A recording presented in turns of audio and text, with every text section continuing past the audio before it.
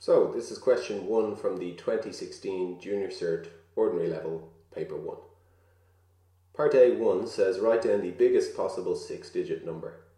Well the biggest single digit we know is 9, so it's just going to be 6 ninths.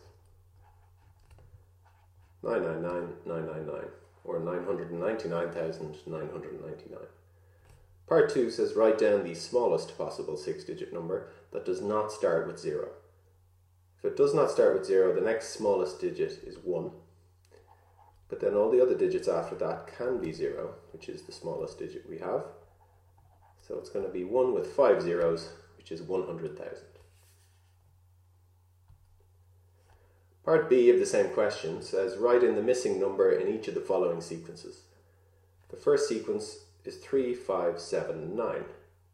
So we can see that's actually going up in jumps of 2 each time. So if we continue that pattern from 9, if we jump up 2, we've got 11. The next sequence, the jump each time is changing. The first jump is 3, second jump is 5, and the next jump is 7. This time the jumps are changing, but there's a pattern in them, 3, 5, 7. So the next jump would be a jump of 9, and 16 plus 9 is 25. Part 3, if we look at the jumps again, first jump is 2, the next jump is 4, and the third jump is 8.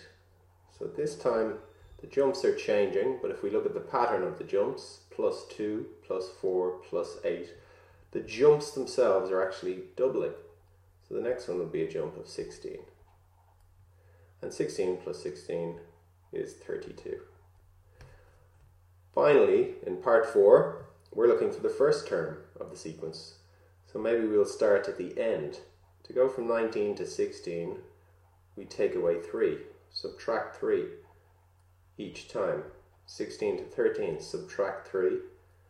13 to 10, subtract 3. So if we just continue that pattern, 10 take away 3 is 7, and we have our answer. That is the end of question 1.